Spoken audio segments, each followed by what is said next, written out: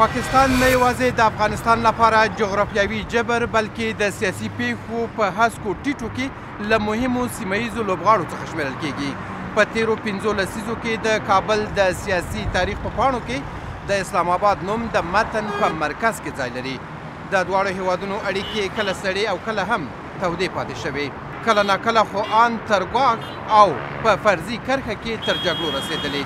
د نن تاریخ په څپو کې بیا د افغانستان د تازه نظام په رسمیت پېژندنه، کډوال او تجارت او د پاکستان د ټي ټي پي امنیتي پېښې او ګواښونه له ګرمو مسایلو څخه دي. آیا اسلام اباد کابل خپل دښمن بولي او که؟ پېچلی ګاونډی څنګه کېدای شي چې تقابل خپل ځای تعامل ته ورکړي او څنګه ستراتیژیک ګډون د مجبوریت او مصلحت ځایناستی کېدای شي. د طلوع نیوز دا ځانګړې مرکه د پاکستان د موقت حکومت له لومړي وزیر انوارالحق کاکړ صاحب سره ده. کاکړ صاحب ډیره زیاته مننه کور مو ودان چې موږ ته مو د سوال او ځواب وخت راکړ ډیره مننه چې تراله دلته او د مرکه دی وکړه کور مو ودان صاحب سلامت اوسئ په لومړي سر کې د افغانستان او پاکستان د اوسنیو اړیکو په اړه باندې راته ووایاستئ فعلا د افغانستان او پاکستان اړیکې په کوم حالت کې دي کېدای شي چې ځینو خلکو ته به دا ښکاري چې د پاکستان او د افغانستان اړیکې چې دي څه دونه ښې نه دي خو زه په خپله ودې ته دا نظر ګورم چې د افغانستان او د پاکستان تعلق دومره مضبوطه دی چې هغه په یو دوو په درو واقعاتو زما نه دی خیال چې هغه به په شاتګ ځي، هغه به همیشه په مختګ ځي. زه دې ته په یو ډېر د مختګ په نظر ګورم. شا تګ د افغانستان او د پاکستان په هکله کې زما ذهن او زما فکر یې نه مني. ستاسو په نظر باندې د افغانستان او پاکستان ترمنځ څه ډول یو سیاست د تقابل سیاست یا هم د تفاهم سیاست بریالی کیدلی شي ځکه دا دواړه دغه ګاونډي دي چې ډیر زیات مشترکات لري مذهب دین همدا ډول کلتور ژبه دا ټول سره یو دي خو ځینې وختونه دا شوي دي سره چې دغه سیاست کې ښکته پورته ځینې موضوعات راغلي دي زما ګوره روره دا خیال دی چې په کورنۍ کې په یو کور کې د څلورونو په منځ کې هم کله نه کله د نظر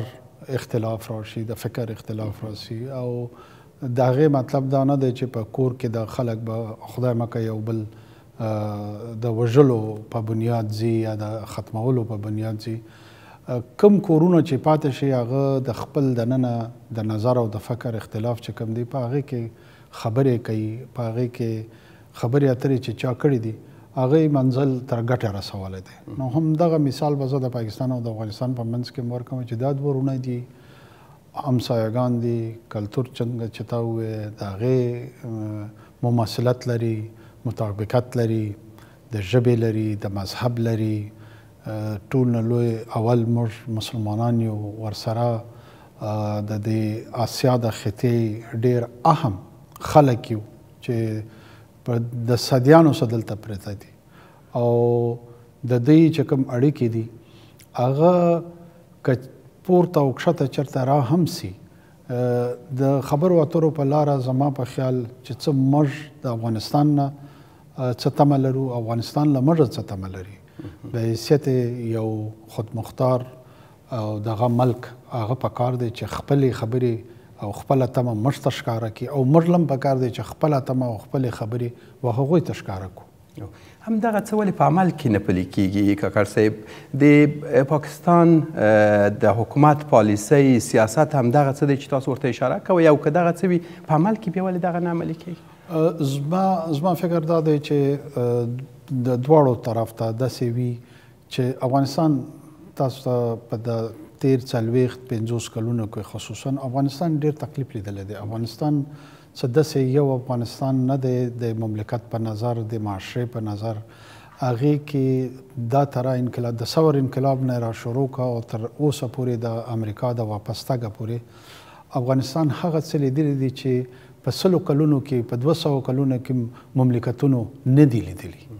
نو چې ته د دونه سخت وخت سره تېرېږې نو په دې کې مختلف آرا مختلف فکرونه مخې ته راځي همداسې د پاکستان طرف ته هم د هغه نظر چې کوم په دې څلوېښت پنځوس کلونو کې تېر شوي دي یعنې کم کسان چې اوه مجاهدینو ګروپ چې کوم زمونږ ملګري روایتي طور پاتې شوي نن که ته هغه یې وګورې چې هغه د هغه اختتام چېرته کوم ځای ته شوی دی په هغه کې د احمد شاه مسعود ډله نن چیرې ده او د ګلبدین انجنیر صاحب ډله نن چیرې ده او د دې نه راوتلې اول د طالب چه کوم برخه وه هغه چرته ده بیا دویم د طالب په برخه چه کوم خلک رالو هغه په کوم ځی ته رسیدلی دی او کوم کسانو د افغانستان نمایندګی د طالب په ضد کې چې لس پنځلس کاله کړی دی د هغوی پای څه سوی دی نو دا ټول شیان زما په نظر دا اثر اچوي، دا اثر په پالیسیانو اچوي، دا اثر په فکر اچوي، دا په اثر په عملي سیاست اچوي، نو پاکستان به هم په ځینې ځایونو کې هغه توقعات مطابق کار کړی کوم چې د افغانانو په دې مختلف ځایونو کې نظر او په ځینې ځایونو کې به نه کړی خو اوس هغه وخت راغلی دی چې ماته داسې ښکاري چې په افغانستان کې یو استحکام را روان دی او هغه استحکام د دباندې دنیا چې په کوم نظر ورته ګوري یا به ځان ته ګوري خو دننه داخلي افغانستان په خپل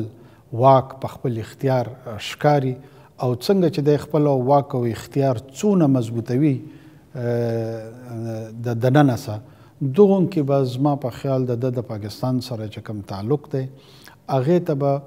یو رشنلایز اپروچ کوم په انګلیسي کې وایي د عقلي بنیاد باندې، فکري بنیاد باندې ابه په مخ راځي او زما زه په خپله ډېر امید یم، پر امیده یم او زما ته د دې مستقبل چې کوم دی ډېر خوشاینده ښکاري. کاکړ صاحب همدغه امید چې تاسو د افغانستان نه لرئ، کله چې تاسو په پاکستان کې د موقت حکومت لومړی وزیر وټاکل شوئ، افغانانو همدغه امید درلودو، ځکه دوی ویل چې تاسو په قوم کاکړ یاستئ، پښتون یاستئ او اقلا د هغو افغانانو او په ټوله کې د د د د ګاونډي هېواد افغانستان سره به تعلقات ډېر ښه شي اما وروستیو وختونو وښودله چې دغه تعلقات څه نا څه ترنګلي شول د دې علت څه و نورو هېوادونو په دې کې مداخله کوله ترڅو دغه هېواد افغانستان او پاکستان اړیکې سره ترنګلي کړي او که نه ځینې نور لاملونو یو خو به زه د دې خبرې وضاحت وکړم خصوصي طور هغه کسان چې کم دلته د قانون په توسط هغه افغانانو چې دلته ژوند نه کوي په تیر دیش څلوېښت کلونو کې زمونږ په حکومت کې دغه فیصله وشوه چې دی دی باید واپس لاړ شي نو دې ته په ښه نظر په د افغانستان له جانبه نه کتل کېدل او ما هر کله او نن هم زما هم دغه موقف دی چې دا څنګه وخت تیریږي نو افغانانو ته به ښکاري چې دا پالیسي هم د دوی په حق له بهتره او زموږ په حق له بهتره وه دلته چې به کله خبره را اوچتېدله چا به ویل چې افغانان کې داسې خلک دي چې زموږ په تخریب په حواله د دوی کردار دی چا به ویل چې د کرایم په حواله د دوی کردار دی چا به دلته زموږ طرف نه پولیس والا او نور خلکو د وظیفه به نه ورسره کاغذونه به ورسره نه وو څا به پیسې ترش کړولې څا به څه بل بې عزتۍ رنګ ورته دغه کولو نو زموږ دا خیال و چې که موږ یو داسې پالیسي وکړو چې دوی د خپل وطن ته واپس لاړ شي او هلته چې کوم د دوی که تذکره ده که پاسپورت دی هغه واخلي او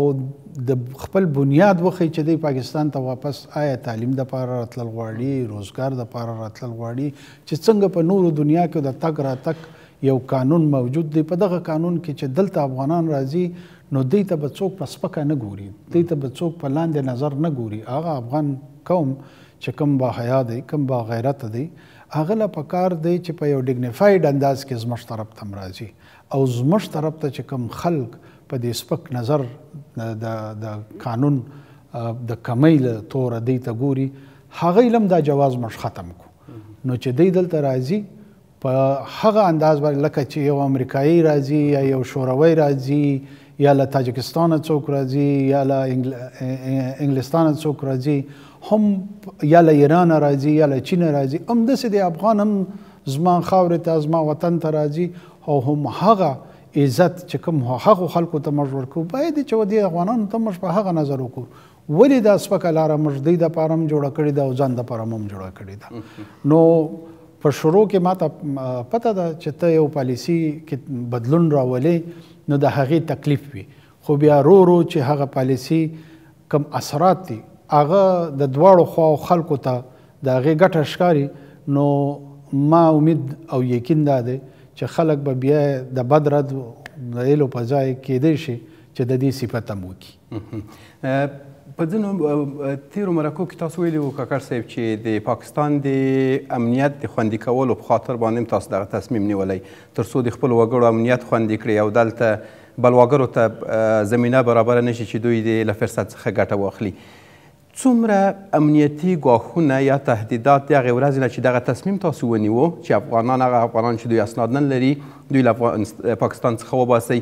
څومره تفاوت راغلو امنیتي وضعیت کې؟ امنیت کې کېدای شي داسې ښکاري چې پر یو میاشت کې یا په دوو میاشتو کې یا په درو میاشتو کې دونه فرق خلکو ته نه ښکاري خو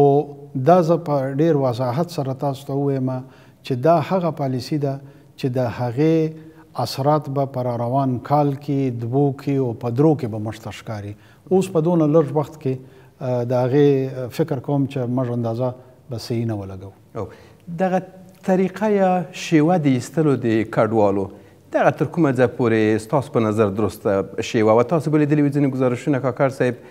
پلار په سپین بولدک باندې واوښتو ویستل شو مور په تورخم دروازه باندې پښولیڅې پښې ووته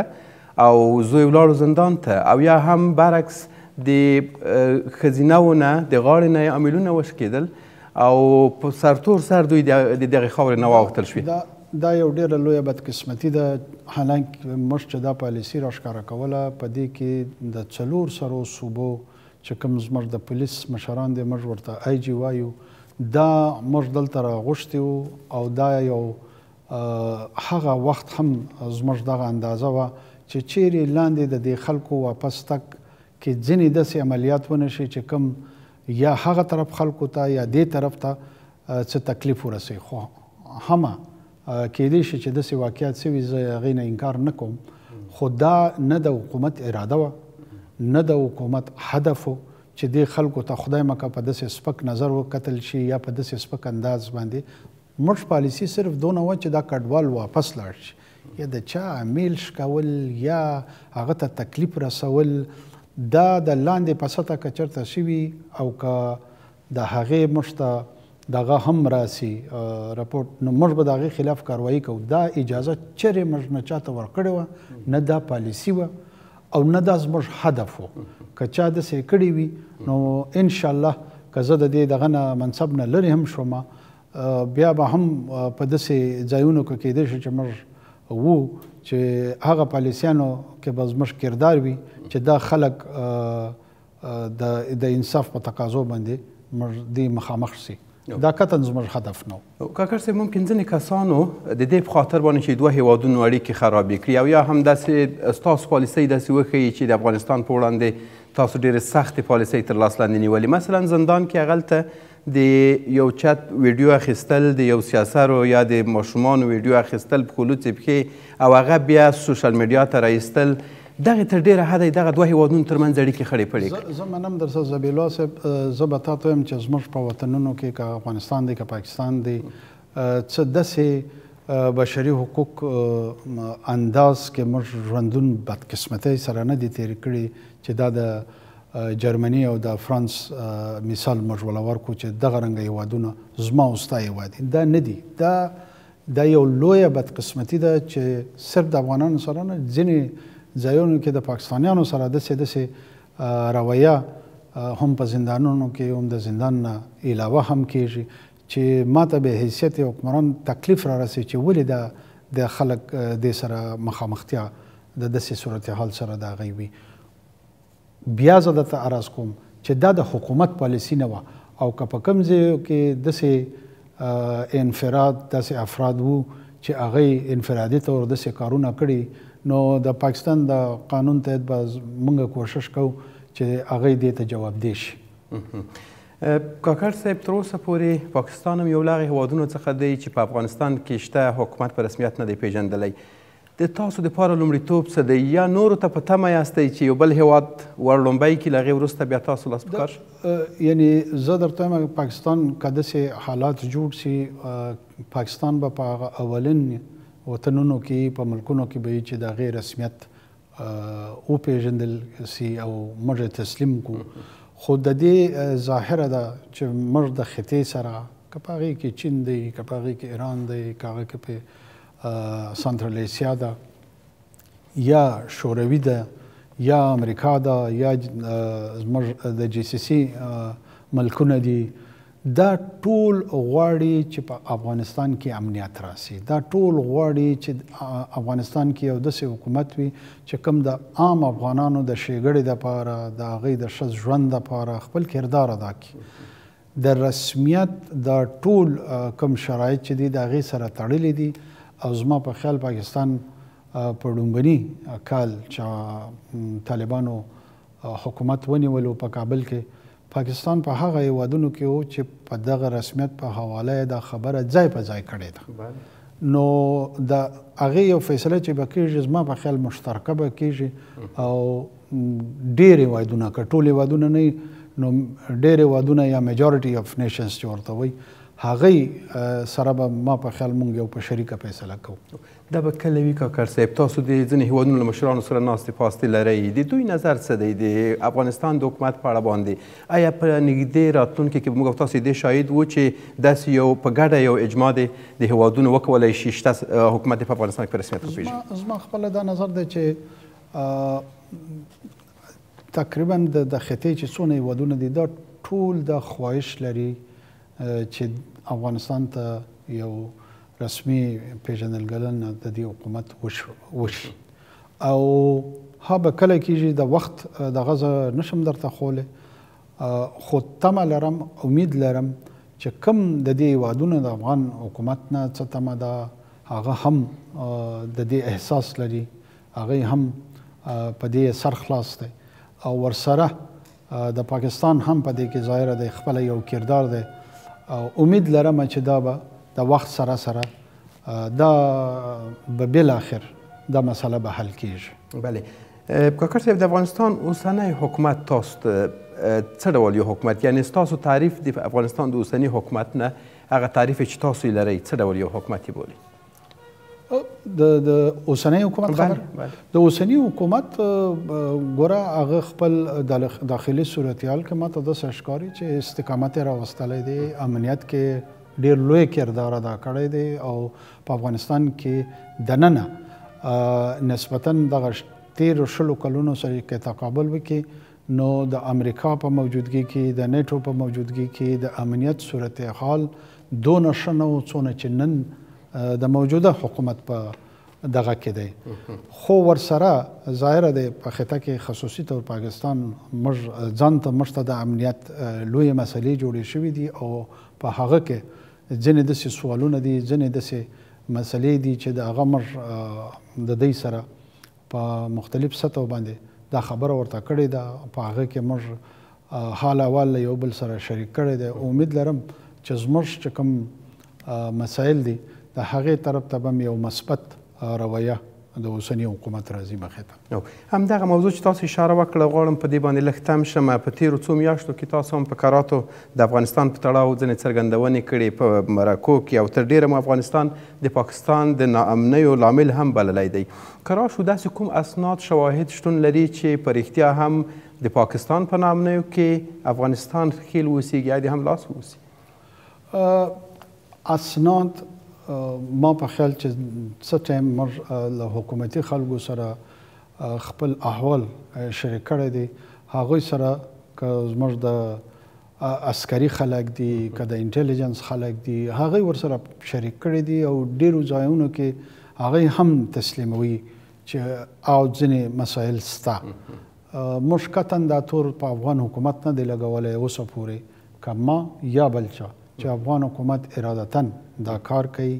یا د سه اراده ده چې پاکستان ته تاوان ورسوي اما د افغانستان له خاورې تاسو ویلو چې پاکستان ګواښل هغه له خاورې بالکل زنن هم وایم لګیم د هغه خاورې مطلب دا نه دی چې د خاورې مکمل اختیار د ننني حکومت سره شته. زما خپل دا نظر دی چې پکار دا دی چې موږ دې حکومت ته لږ وخت ورکړو چې دی داخلي طور هم چې څونه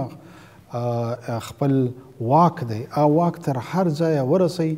او ځینې ځایونو کې د هغه په واک کې موږ ته څه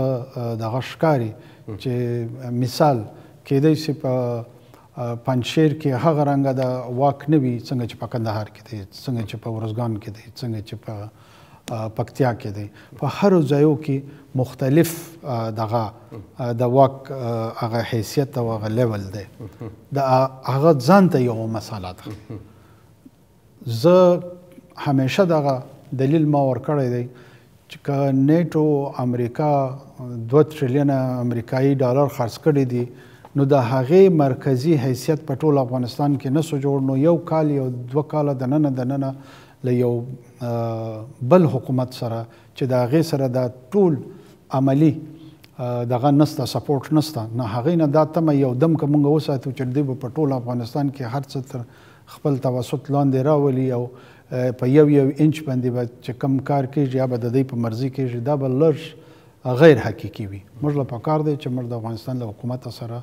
نور خبرې اترې وکړو نور له دوی ته دا وخت او موقع ورکو خو دې کې هیڅ شک نشته چې دا کسان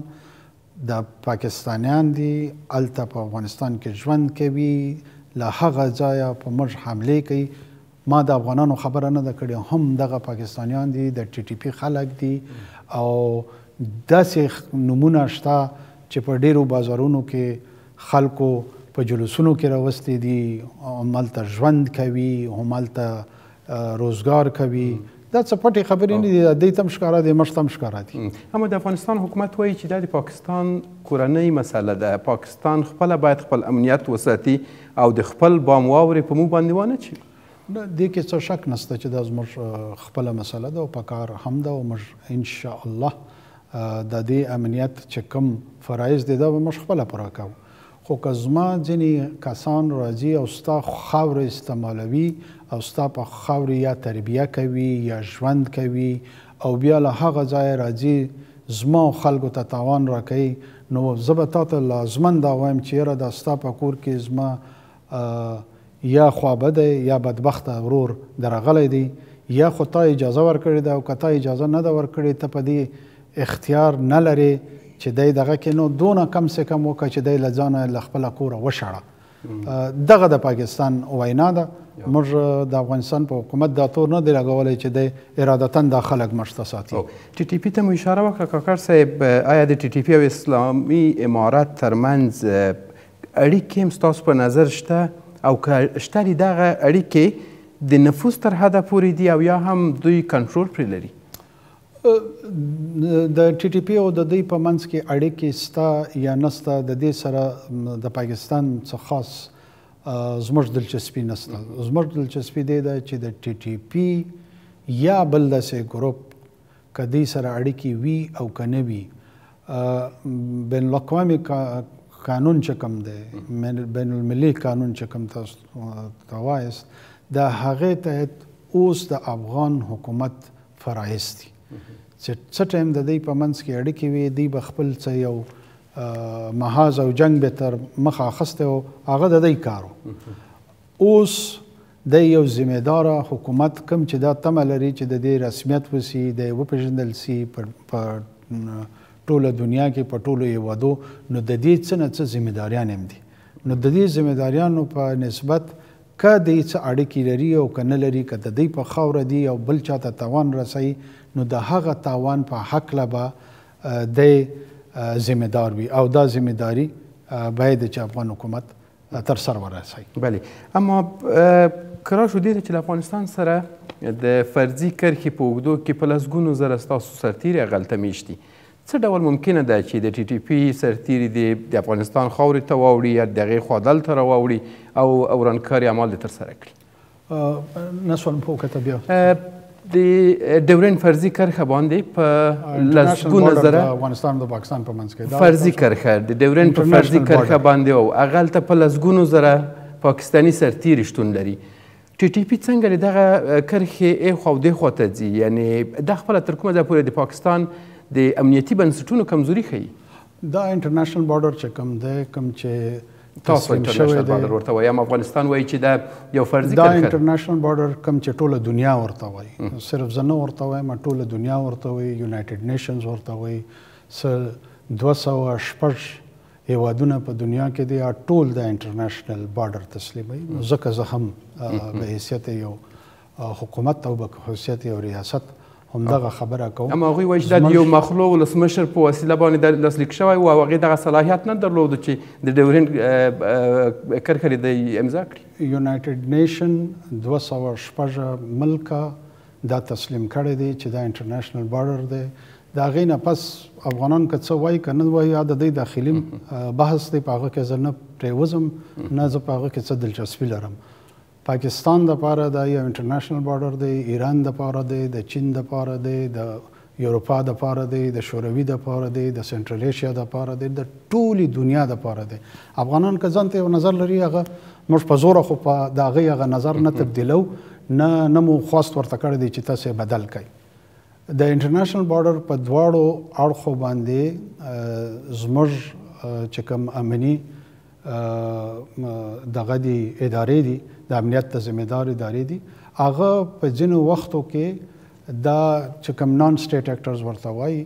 په دغه افغانستان کې نیټو او امریکا د 3 ټریلیون ډالرو سره دغه څلور طالبان تر سره ونه رسول چا ولې دا سوال نه وکړ چې دا ټوله دنیا بیا ناکامه شوه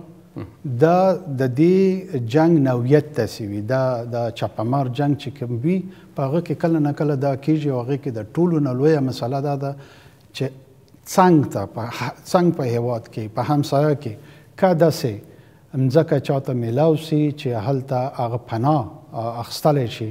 نو دا چاپمار جنگ کې مسایل پیدا کیږي موږ هم په دې ته په دغه نظر یو. همدغه ځمکه اوس هغې خوا ته ورته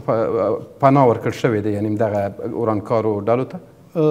هغه ځمکې ته بیا زه دغه وضاحت کوم، موږ دا تور نه دی لګولی چې د هغه ځای حکومت ورکړی دی، خو په هغه ځمکه که اسراباد، که کونړ، که پکتیا په افغانستان کې ده، نو ظاهره ده دوی هلته ژوند کوي، خو پناه یې هلته وړې ده.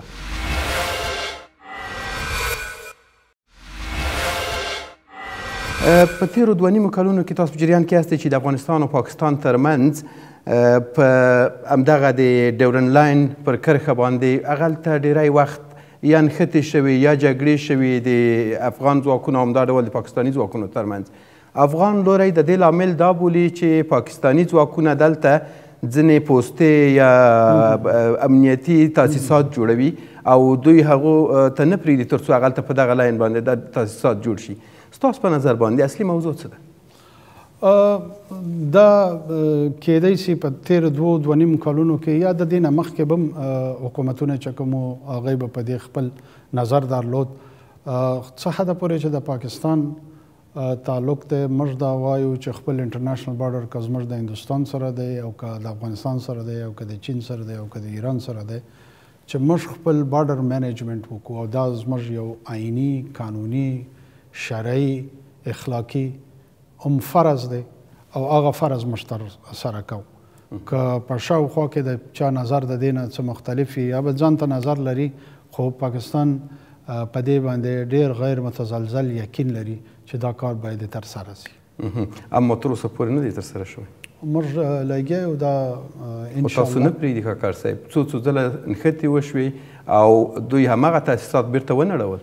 موږ به بیا جوړې کو خو دوی به بیا ونړوي موږ به بیا جوړو دا خو بیا نتیجه نه ورکوي د حل لار څه بولئ حل ګوره زه بیا عرض درته کوم دا په دنیا کې دا نه دي سوي چې څونه دغه موږ دغه ځان ته جوړې کړې دي دا د بارډر سره یا څلوېښت میټره یا پنځوس میټره دننه د پاکستان طرف ته موږ دا پوستې جوړې کړې دي دا زموږ اختیار دی دا زموږ حق دی هماغه فرضي کرښه ده تاسو ما بیا درته ویل نه که ته هر څونه په دې خبرې باندې بیا لوړ شي او راسي زه درته وایم چې په دوه سوه اووه هېوادونو کې اته بیلیونه نفوس د انسانانو دي په دې کې درې کروړه په افغانستان کې دي او په د اته بلينو کې اووه بلينه او اووه نيوي کروړه يې تسليموي، نو ته که وايې زه په زوره خو ما په غاړه نه يې رانيولی چې مه وايه، هغه ستا اختيار دی ته وايه، خو دنيا دا تسليم کړې ده، دا يو داسې کيسه ده چې تېره کيسه ده او ختمه کيسه ده. او هغه که ختمه قصه ده هغه بې پيلوټه الوتکې چې د افغانستان پر حريم باندې ګرځي، او لاره یې هم د پاکستان له خوا ده پاکستان لاره ورکړې ده دغه تر کومه ځای پورې د یو هیواد په امنیتي چارو کې یا د دوی په کورنیو چارو کې هوایي لاره بي پیلوټ الوتکې د افغانستان پر هوا باندې ګرځي نه نه موږ وچاته لاره ورکړې ده خی چا لاره ورکړې کاکا نه موږ وچاته لاره ورکړې ده خدا چې کوم د دینه مخکې چې کوم حکومت له هغه حکومتو سره زموږ او د نیټو او د دې ضرور دغه وي معاهدات وي د هغه معاهداتو تحت ډیر څه سوي دي خو اوس چې څه وخت دا دغه نیول شوی دی کابل نیول شوی دی اوس زما نه دی خیال چې په دې هکله خبره مخې ته روانه ده د کابل د افغانستان د حکومت د بهرنیو چارو وزارت سیاسي مرستیال عباس ستانکزي صاحب خبرې به تاسو اورېدلې وي چې هغوی ویلي چې همدا اوس هم د افغانستان پر فضا باندې بې پیلوټه الوتکې ګرځي او به غیر له پاکستان نه بل داسې کوم هیواد نشته دی د افغانستان په گاوند کې چې دغه الوتکو ته د هوا نه لار ورکړي زه به د هغې لکه د نورو هیوادو ما ته دا مناسبه نه ښکاري چې زه دا وایم چې په دې کې به نور هیوادونه خو زه دې حده پورې وایم چې پاکستان هیچا ته اجازه نه ده ورکړې اوس که راشو کاکړ صاحب دې ته چې که افغانستان په امنیتي برخو کې ستاسو اندېښنو ته پاملرنه ونه کړي لکه څنګه چې همیشه تاسو له دوی څخه د دې غوښتنه کړې چې د افغانستان په خاوره کې تاسو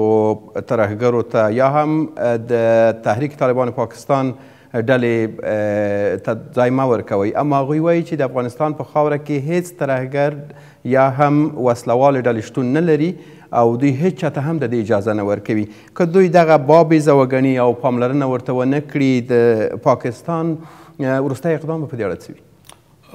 زما دا خیال دی چې دا خبره به په کوم انداز چې اوس راپورته شوې ده او سبا ان شاء الله پاکستان به فیصله کوي چې را روان حکومت د د پنځه کالو د فاره د چا وي دا هغه خلک دي چې هغه به دا خبره په مختګ بیایي او زه دا تمه لرم چې دا مساله به د خبرو اترو په ذریعه د میډیا د خبرو اترو په ذریعه نه د حکومتي سطح د خبرو اترو په ذریعه به تر سره ورسي زه دا امید لرم دغه ورځ نه چې تاسو کاکړ صاحب په پاکستان کې د موقت حکومت د لومړي وزیر په توګه راغلي یاستئ د افغانستان له حکومت سره مو په لوړه کچه باندې رفت آمد نشته دی یعنې په لوړه کچه د پاکستاني چارواکو تګ کابل ته موږ نه دی لیدلی او په داسې حال کې چې په دې وروستیو کې تاسو ولیده چې مولوي سیف الرحمن کابل ته راغلی و د هغې نه ډېر ښه هرکلی هم وشو ډېر ښه پروتوکول ورکړل شو او ډېرو لوړپوړو چارواکو د افغان حکومت ورسره ولیدل تاسو ولې دغه راشه درشه له افغان حکومت سره په لوړه کچه نه لرئ په لوړه سطح خو نه اوسو خو د هغې نه لاندې د د کندهار ولس د دغه مصر چې وي والي والي چې وي والي صاحب هم دلته راغلی او ځینې نور مشران هم د دی راغلي دي خو خبرې اترې زموږ سره غالبا دوره وخت هم نه و ځینې میاشتې وي که وخت له موږ سره نور وای نو کېدای شي چې دا خبره تر مشرانو پورې هم رسېدلې وای او زه په خپله هم راغلی وای یا له هغه ځایه مو څوک را غوښتي وای. ما په خیال دا را روان حکومت به انشاالله امید لرم چې دا خبره تر هغه سطح ورسوي. خو کله چې په افغانستان کې اسلامي امارت واک تر لاسه کړو لومړني په لوړه کچه مشران د پاکستان د حکومت مشران وو، د پاکستان د استخباراتو رئیس کابل ته راغلو او هغلته یې د طالبانو له مشرانو سره هغلته له نږدې وکتل، خو له هغې وروسته چې تاسو دغه مشري په غاړه واخیسته، دغه رفت آمد څه ناڅه کمرنګه شوی دی او که شوی هم دی، په ډېر په ټیټه کچه باندې ترسره کېږي. زما خپله دا نظر دی چې په دې کې ځینې داسې شیان وو کوم چې موږ د خپل روایتي پالیسي نه څه بدلون په کې راوړو. نو د هغه بدلون هلته وضاحت په کوم انداز وشو، زموږ طرف ته په کوم انداز وشو، دا لږ وخت یې واخیستو خو د لانګ ټرم چې کوم د ډېر وخت لپاره زموږ تعلق دی، د هغې په هکله به زما خپل نظر دا دی چې هغه به په ګټه تمام شي او چې کوم راروان حکومت دی هغه به دا د په ډېر مثبت انداز د پاکستان او د افغانستان دا اړیکې چې کومې دي دا به ان شاء الله سمې کی. او اما دا ډیری دغه په دې اند او نظر دي چې دغه اړیکې څه نا څه تاسو ترینګلي کړي دي او هغه د اعتماد فضا څه نا څه کمه شوې ده ځینې داسې تصامیم مو نیولي دي چې هغه د دې پر ځای چې دوه ملتونو یا دوه هیوادونو ترمنځ اړیکې نږدې کړي سره لرې کوي اه ته به کیدای شي یا کیدای شي په افغانستان کې به ډیر خلک داسې نظر لري چې موږ هغه اړیکې لرې کړې دي. ما دا خیال دی چې موږ هغه اړیکې سمې کړې دي. هغه اړیکې موږ په دې سمې کړې دي مثال افغان ټرانزیټ ټریډ و، په هغه کې ځینې داسې شیان و چې د پاکستان په تجارت په ګټه نه و، زموږ د معیشت په ګټه نه و او تیر حکومتونو پکار و چې هغه ته یې نظر لرلی وای چې هغوی نه و درلود. موږ اولنی فرض دا وو چې د پاکستان مفاد خیال وساتو ورسره د افغانستان سره سم تعلق وساتو دا نسی کېدای چې د افغان پاکستان مفاد زه تر نظر وباسم او صرف افغانستان ته یا ایران ته یا بل هیواد ته وګورم موږ هغه کار وکړو چې کوم اولین د پاکستان په مفاد کې وو او ورسره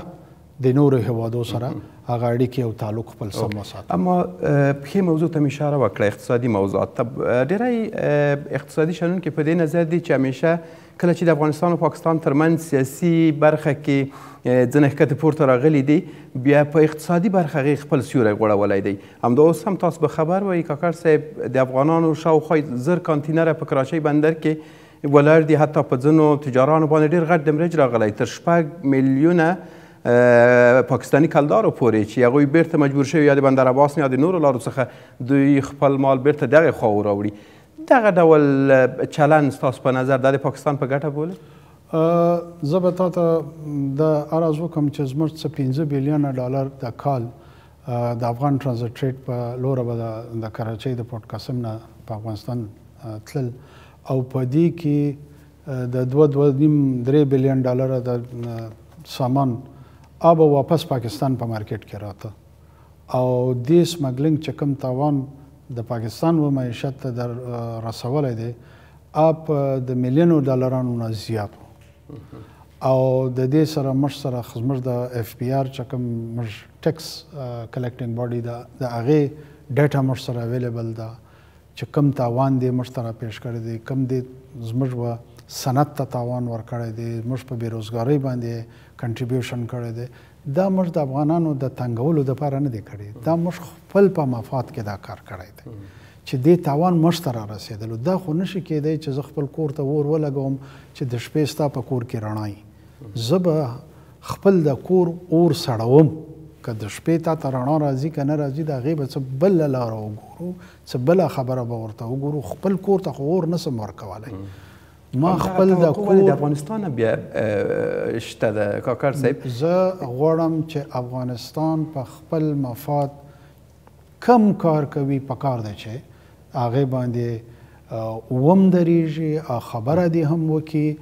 دا اسان دا چې زه درته وایم چې موږ د اړیکې اسانو هغه ځکه اسانو چې زه ستا په مفاد پوسم او سر خلاص کوم چې دا ستا ضرورت دی زه به ځان د هغې مطابق راولم همداسې ته به زما په مفاد سر خلاصوې او که زه وایم چې زه هم غلی یم او ته هم غلی او چې څه کار روان دی هغه به روان وي څلوېښت کاله به لاړ شي پنځوس کاله به لاړ شي خو خبرې به بیا میدان ته راځي نو موږ لږ مشکل فیصلې چې وي هغه مو وکړي اوس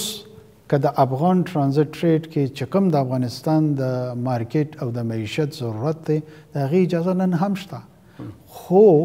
د دی خپل د ضرورت چې کم د بین الاقوامی معاهدات وی هغه وی دغه د پاره چې دی ته اسندیات جوړی کی دی د پاره نه وی چې د دی په بنیاد ما ته مشکلات جوړ کی نو زه خپل د مشکلاتو خبره دی ته کوم او په هغه اکلا ما ته داسې ښکاری چې د افغان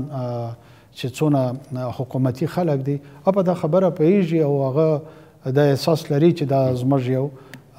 جنون مشکل دی اما دغه مشکل ول نه حل کیږي کاکړ صاحب له کلونو کلونو راهیسې د افغانستان او پاکستان ترمنځ همدغه ستونزې مشکل شتون درلودو ډیری وخت تورخم دروازه تاسو ګوري چې هغه په دې خاطر بندیږي هغلته د میوو سیزن وي دې خواته د میوې سیزن وي هغه هغې خواته نشي تللی دلته پاکستاني تجاران سخت زیان ویني هغې خوا کې افغان تجاران دغسې زیان ویني، تاسو ولیدل چې انار، انګور، هر څه هغه خراب شول، څه ډول سیاست د اقتصادي پلوه ستاسو په نظر باندې دواړو هېوادونو تجارانو ته ګټور تمامېدای شي؟ تر ټولنو اول په افغانستان کې او په پاکستان کې خلک په دې خه بره ځان زاید ځان پوه کړي چې د پاکستان او د افغانستان اقتصادي ګډه ډېر زیات اشتراکات لري، ډېر مشترکات لري. که زه غواړم چې ازبکستان ته خپلې دوا واستوم یا خپل اوزار واستوم یا یې تاجکستان ته واستوم یا ایون تر شوروي یې رسوم نو له ما سره چې کومه لاره ده هغه د افغانستان ده او همداسې که د شوروي عراق تر د منځنۍ اسیا څونه هېوادونه دي دی غواړي چې تر د پاکستان د کروڑونو نفسونو تر خپل سامانونه ورسوي نو هم د دسه لاره د افغانستان د که د ترکمنستان ګیس دی خواته غواړي چې ځان راورسوي یا بل څه خپل دغه راورسوي منځ افغانستان دی که په افغانستان کې امنیت وي نو اقتصادیت به په مخه ځي د دې ګټه هم افغانانو ته ده هم پاکستان ته ده هم منځنۍ اسیا ته ده خبره دا ده چې په اقتصادي نظر خلک ودی ته وګوري په سیاسي نظر نه ورته وګوري چې سیاسي نظر ته او اقتصادي نظر نه بالا کې نو بیا نور ډیر مسایل پیدا کیږي په کار دا ده چې موږ اولیت و اقتصادیاتو تور کو نو ژوند به د ټولو اسانه شي بله کاکړ صاحب اوس که راشو د یو بل ستونزه او مشکل چې په تیرو کلونو کې متاسفانه دغه دواړو هیوادونو ترمنځ شتون درلود او هغه هم د اوبو مسئله ده ډیری وخت پاکستان دغه تور پورې کوي چې هغه د مونږ خپل حق اوبه مونږ ته نه راځي یا هغه لوری وایي چې څومره حق چې کېږي د هغې نه هم زیاتې اوبه هغې خوا ته ځي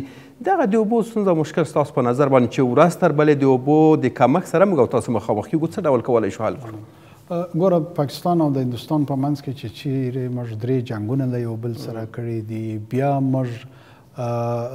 موږ هم اتمی قوت ځان جوړ کو هندوستان هم ځان جوړ کو د هغه باوجود د اوبو په عقل زموږ په منځ کې یو معاهده ده هغه معاهده چې ورلد بانک او کم بین الاقوامی دغه د بین المللي ادارې دي هغه د هغې ګارنټور دي نو هیڅ زه په دې کې څه شک په خپل ذهن کې نه لرم چې په کار دا ده چې افغانستان او پاکستان هم د اوبو په اکله هغه معاهداتو ته ځان نږدې کی چې خبرې اترې وکړي لاره موږ سره د خبرو اترو د بله لاره موږ سره نسته په کار ده د اقتصادیاتو په حواله د اوبو په حواله نورې چې کوم زموږ مسایل دي یو د یو بل سره یو بل خبره وورو یو بل ته خبره وکړو په ایمانداري یې وکړو په هوښیارۍ یې نه وکړو په ایمانداري زه څه غواړم په ایمانداري ته څه غواړي که ایمانداري وي نو موږ به سمې نتیجې ته ورسو او که دا ګڼون چې زه هوښیار یم زه به تا دغه کمه خطا به دې کمه او که ته دا ګڼې چې ته دوره هوښیار چې ما خطا کې نو منزل ته نه ترسې نه زرسم هم دا مشکل و تر اوسه پورې زما په خیال اوس بم که مخکم دغه رویه و هم دغه مشکل به وي بله کاکړ صاحب ستاسو د پخوانیو مرکو برعکس ورستی مرکه مو د یو پاکستانی چینل سره مثبته مرکه وه نسبت د نورو مرکو په پرتله او د افغانانو ترمنځ يې يو هيله مندي پيدا کړې وه. ډېری سياسون چې ما ليدل ستاسو د هغې مرکې نه وروسته دوی ویلې چې ګوندې وي چې د افغانستان او پاکستان ترمنځ دغه شته ستونزې مشکلات حل شي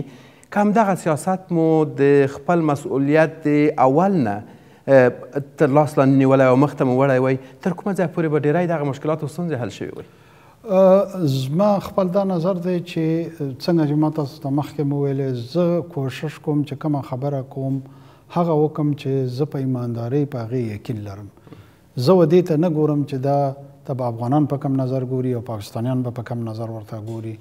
زما اولنی ورځ یا په مرکو کې هم دغه نظر و کوم چې په دغه د پښتو چینل مرکې ته ته ریفرنس ورکې په هغه کې هم ما هم دغه خبرې کولې زه بیا درته وایم یو آنست ډایلاګ آنست ډایلاګ از د کی اند د وی فارورډ که پاکستان او افغانستان دا غواړي چې اقتصادي تور ځان او خپل خلک په مخ بوزي سیاسي مسایل حل کی د یوادونو په منځ کې یو احترام نظر ځان تم جوړ کی او جهان تم جوړ کی نو لاره د خبرو د اترو ده او خبرې اترې صرف په دې نه چې یو بل ځله خطا کوو خبرې اترې په د په اونسټي په بیسس باندې او څه ستا تمه ده څه زموږ تمه ده په دې باندې میډیا فورم نه ده حکومتي ادارې موجوده دي نور دا رنګه فورمونه موجوده دي او الته چې کومې مثبتې فیصلې وسی بیا دې د هغې د میډیا او میدان ته راولي او خبرې دې هلته هم کوي ډېره مننه کاکړ صاحب ډېره ښې موضوع ته مو اشاره وکړله د هند سره تاسو اشاره وکړه چې د کلونو کلونو دښمني پاکستان لري اما په ډیری مواردو کې د اوبو موضوعاتو کې نورو کې ورسره هغه نړیوالو قوانینو ته هغلته ژمنتیا شتون لري اما د افغانستان سره دغه ستونزه او مشکل ستاسو په نظر باندې ولې نشته مثلا که راشو دې ته چې د هند سره امن کې هاشا خوځښت شتون لري که کوم مشکل رامنځته کیږي هغه مدني خوځښت دی هغه مشکل ته د حل لار پیدا کوي دغه خواته تاسو په نظر باندې څه یو یو پیشنهاد مو څه دی چې دغه ډول خوځښتونه تر کومه ځایه پورې دغه ستونزې مشکلاتو کچه راټیټولی شي زه خپل دا نظر لرم چې د امن کې آشا خو یو خبره وا چې زموږ طرف ته او هغه طرف ته څنې د میډیا خلکو راپورته کړې و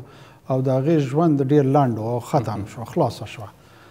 زموږ او د افغانستان په منځ کې د امن د آشا د نارې وهلو ضرورت نشته. زه ضرورت نه ګڼم، ما ته دا داسې فکر کوم چې د افغانستان او د پاکستان په منځ کې اړیکې ډېرې مضبوطې دي. پښتو په منځ کې ده، کلتور په منځ کې دی، ته هم خوشحال خان ته په لوړ نظر ګورې زه هم ورته ګورم ته هم غني خان ته ګورې زه هم ورته ګورم په لکاو انسانان دې طرف ته نن هم ووسی که څه کډوال څلور لکه څلور نیم لکه تللی دي څوک دا نه یادوي چې ولس نیم لکه نن هم په هغې موږ دستخط کړی دی او هغوی چې دلته کومه استوګه ده د هغې دغه زیاتو د وخت سره در پنځوس کلونو نه او زموږ په منځ کې چې کوم اړیکې دي هغه ډېرې مضبوطې دي، ځینې کسان که دا فکر لري چې د افغانستان او د پاکستان په منځ کې به په ځینو حوالو سره دا اړیکې خراب شي او د دې ګټې به نورې وکړي زما په خیال هغه به مایوسه کېږي. پاکستان او افغانستان بیا هغه خبره کوم چې په ایمانداري خبرې اترې شروع کړي ډېری مسلې به که د اوبو نه واخلې تر اقتصادیاتو پورې ډېر څه به حل کی او د مشترکه ګټه به ترې واخلي کاکړ صاحب تاسو ته د یو افغان د څو پاکستانیو معادل ښکاري. په دې وروستیو کې په تاسې ځینې څرګندونې د پاکستاني مسؤلینو لیدلي وي چې دوی د یو پاکستاني ژوند د ټولو افغانانو سره نه برابروو. دغه ډول څرګندونې تر کومه ځایه پورې هغه مثبت لیدلوري منفي کوي، ذهنیتونه خرابوي او اړیکې ورځ تر بلې کمزورې کوي؟ زموږ لپاره هم ګوره دا یاد ساته چې یو عسکري مشر چې کوم وي د هغه اوله وظیفه دا وي چې د خپلو خلکو د امنیت په هکله تر ټولو نه اول سوال په ده کېږي نو هغه که دا خبره کړې هم ده هم په دغه هکله یې کړې ده چې د هغه کومه وظیفه ده په هغه کې اولیت چه کوم حاصل دی هغه یو پاکستانی ژوند حاصل دی که هغه کې افغانستان یا د بل هیواد دغه راځي نو داغه پریفرنس یا داغه اولیت چې کوم وي هغه به پاکستانی ژوند دی که افغان قیادت نه څوک سوال وکړي چې ته د امنیت په اول اول افغان ژوند ته اهمیت ورکوي که پاکستاني یا د شوروي و ژوند ته ورکوي یا د تاجک و یا د ازبکستان و سړي ته یا و ایراني ته نو هغه به مو هم همدغه وایي چې نه زه اول د افغان و ژوند ته اولیت ورکوم دا خبره ما په خیال اوټ اف کانټیکسټ نه دی قتل پکار د سينو خدای مکه چې هغه وي چې زه د افغانانو غژوند ته په ډیره سپکا ګورم دغه معنا یې درلود له کاکړ صاحب دا معنا بالکل یو پاکستاني ژوند دی ویلې چې د ټول افغانانو له ژوند سره نه برابروم همدغه معنا لري کته دا موږ د تریخواله لږ را لاندې کو زه ته هغه خبره بیا درته کوم که د افغانستان د امنیت مشر وی لا غلن څوک دا سوال وکي چې تا ته د افغان ژوند اولیت دی او که د پاکستاني ژوند اولیت دی نو هغه به ورته څه ویلې هغه به هم دغه داسې فکر نه کوم دغه څه ځواب ورکړي چې زه یو افغان د ټولو پاکستانیانو سره هم نه پرتله کوم که هغه و دې خبرې ته اصرار کوي چې د افغان ژوند هغه ته اهم دی هغه به هم دغه خبره کوي خو په دغه خبرې په بنیاد باندې که ستا دا خیال دی چې د دوو هیوادو تعلق به یا نږدې کیږي یا به لرې کیږي دا مناسبه رویه نه ده دې د د اردو مشران چې کوم وي د فوج مشران چې کوم وي ما بیا درته ویلې د دوی د امنیت په حواله وظیفه تر ټولو مخکې او په دوی سوال د دې د وظیفې غ په دغه حواله کېږي نو هغه چې کومه خبره کوي هغې له پکار دی چې په هم هغه نظر وکتل شي دا د سیاسي خلکو مجلسونه دي، سیاسي خلک چې څه ټایم دا مجلس مخې ته بیایي، دا پیمانه به په هغوی لګیږي چې هغوی څه قسم مجلس په مخه بیایي او هغه به ما بیا درته ووایي چې را روان وخت کې چې ان شاء الله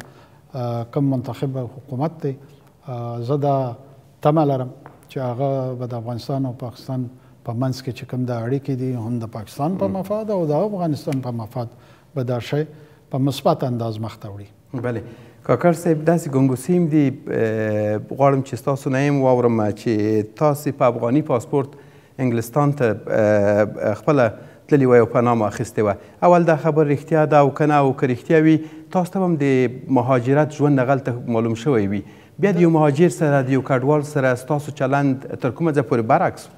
دا یو تور دی چې په ما لګیږي نه ما تر ننه پورې د افغانستان پاسپورټ اخستی دی ما سره په نه مې د انګلستان پاسپورټ اخستی دی دی خو دا هم وایي چې ما پنځه کاله پنځلس کاله هلته مهاجرت تېر کړی دی په دوه زره اته کې ما د کوټې نه د قومي اسمبلۍ الکشن وکړو نو څلو پنځلس کاله خو دلته تېر شوي دي ما سره زما پاکستاني د شل کلونو پاسپورتونه چې په هغې مختلف ویزې لګېدلي دي سره د افغانستان د انګلستان دا یو دو داسې تور دی چې دې ته زه هیڅ اهمیت نه ورکوم د سوشل میډیا کړی ولی پوری کړی کړی دی ما زه دې ته څه نه اهمیت ورکوم نه دونه حیثیت ورکوم چې په دې باندې زه خبره وکم بله کاکړ صاحب د وروستۍ پوښتنې په توګه غواړم له تاسو څخه وپوښتم چې یو عام باور هم دا دی چې ستاسو په حکومت کې لوی تصمیمونه پوځ نیسي او همغه تصمیمونه بیا تاسو عملي کوئ منئ دا هغه خلک دا قسمه خبرې کوي کوم چې په پاکستان کې ځینې داسې فیصلې کوم چې د پاکستان په مفاد کې دي نه غواړي چې هغه فیصلې وشي چې کوم د پاکستان په مفاد کې د پاکستان په فوج یا مر په مشاورت سره خپلې فیصلې کوو او موږ ځان ته یو قانوني فورم لرو، په هغه فورم باندې که د امنیت په حواله یې که د اقتصادیاتو په حواله یې فکر کوو، بحث کوو او د هغه بحث په نتیجه کې چې کومه متفقه فیصله وي د هغې عمل د پاکستان د حکومت یو آئیني فرض دی، موږ خپل آئیني کار کوو. ډېره زیاته مننه کاکړ صاحب. کور مو ودان. سلامت سئ چې موږ ته مو راکړه. سلامت سئ.